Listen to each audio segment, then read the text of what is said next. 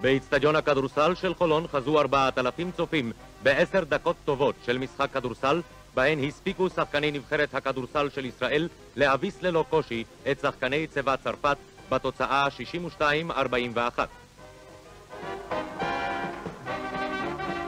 במחצית הראשונה לא הגיעו הישראלים לשיא יכולתם, אולם לאחר מכן שברו את ההגנה האזורית, הגמישה והתוקפנית של יריביהם הצעירים.